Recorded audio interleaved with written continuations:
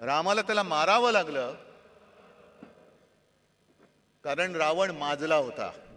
ते तिघही येतात दोन दोन बोटं दाखवतात. आमच्याकडे सुद्धा तिघ जण बसलेले आहेत. ते सुद्धा दोन दोन सांगतात की अरे आमच्याकडे सुद्धा दोन दोन हाफ आहेत. आणि ते कमला पसंतवाले आहेत हे कमळा पसंतवाले आहेत. पसंत आपली आपली. त्यांना कमला पसंत आहे यांना कमळा पसंत आहे. तुम्ही घ्या आणि तुमचं काय ते बघा. जमलेल्या माझ्या तमाम हिंदू बांधवांनो भगिनी आणि मातांनो.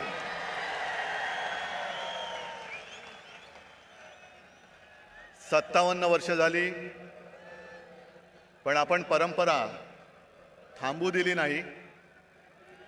मोडता घालण्याचा प्रयत्न किती झाला तरी त्यांना मोडीत काढून आपली परंपरा आपण चालू ठेवली आहे आणि पुढची अनेक वर्ष ही अशीच चालू ठेवणार आहोत. सर्वप्रथम दसऱ्याच्या मी तुम्हाला सर्वांना शुभेच्छा देतो. आज दसरा आहे शस्त्रपूजन आहे सरस्वतीचं पूजन आहे. आणि हा मेळावा त्या संस्कृतीचं एक विराट दर्शन आहे. आपला मेळावा झाल्यानंतर आपण इकडे खोकासुराचं दहन करणार आहोत. मुद्दामून एक नवीन आसूर खोकासूर रामाने रावणाचा वध केला. कशासाठी केला? कारण असं मी ऐकलंय असं मी वाचलंय की रावण सुद्धा शिवभक्त होता.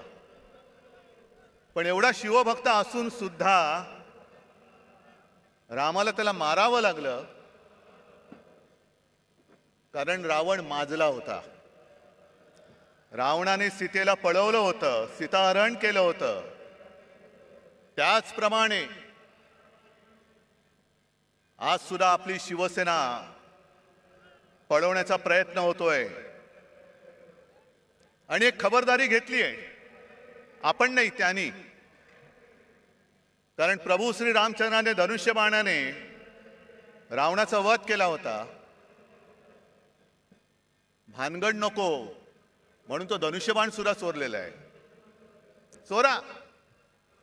पण एक लक्षात घ्या की ज्याप्रमाणे हनुमानाने रावणाची सोन्याची लंका दहन केली होती तशीच तुमची खोक्याची लंका दहन करणाऱ्या धगधगत्या मशाली आज सुद्धा माझ्यासोबत आहेत.